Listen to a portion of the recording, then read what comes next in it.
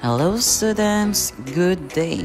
I'm teacher Alvin and I will be your teacher for today's online class. For today, I'll be teaching you the subject science. And let's start first with our vocabulary. Let's start first with our first vocabulary lake. Lake. Lake. Now, let's spell the word lake.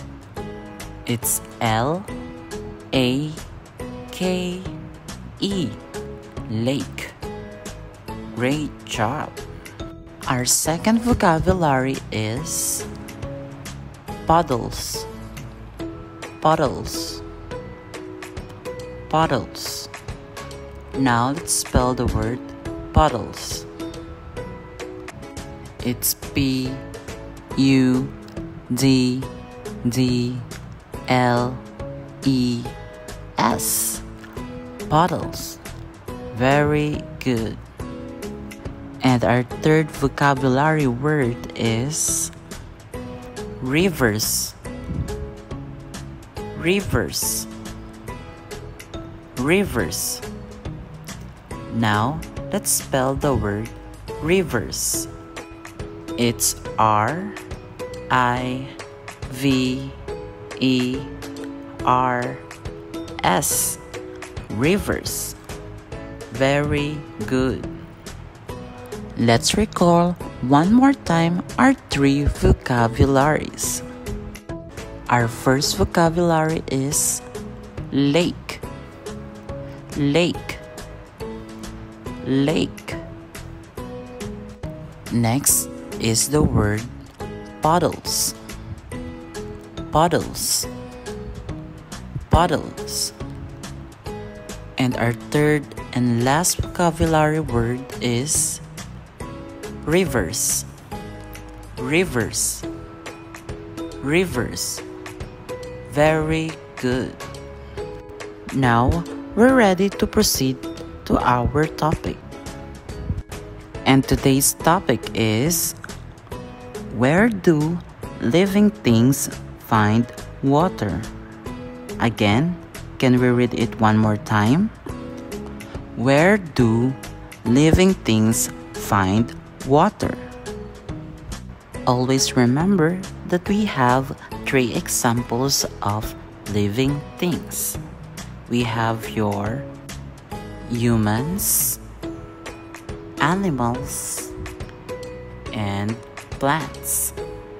These are your three examples of living things.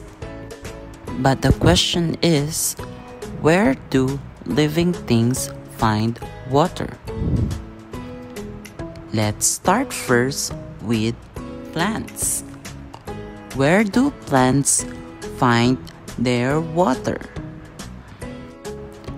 For us to understand our topic, let's identify first the parts of the plants. And here is the parts of the plants. Let's start first with the roots. Second, we have your stem.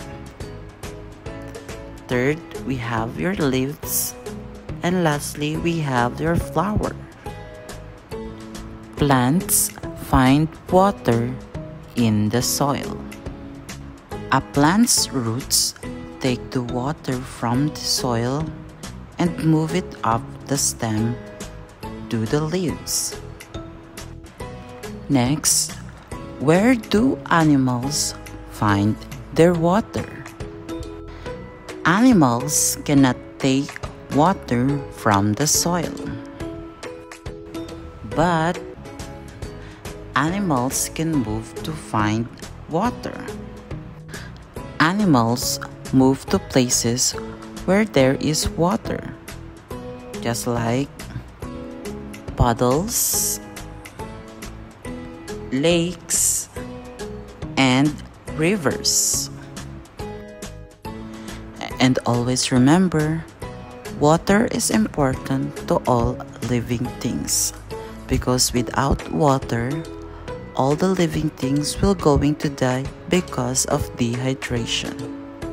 Now, we're ready to answer your activity. Please don't forget to print your activity or you can just kindly write it on your notebook. Your first activity is this. Where do animals find water? Enumerate three examples below. Again, where do animals find water? Enumerate three examples below. Next activity is identification. What part of the plants absorb water from the soil? Again, what part of the plants absorb water from the soil? Your last activity is yes or no. The question is all living things can move to places to find water. Is it yes or no? Again, all living things can move to places to find water. Is it yes or no? Thank you for watching. Hope you learned something new today. And please don't forget to wear your mask regularly and wash your hands often. Stay safe and again, this is Teacher Alvin, and see you soon. Bye!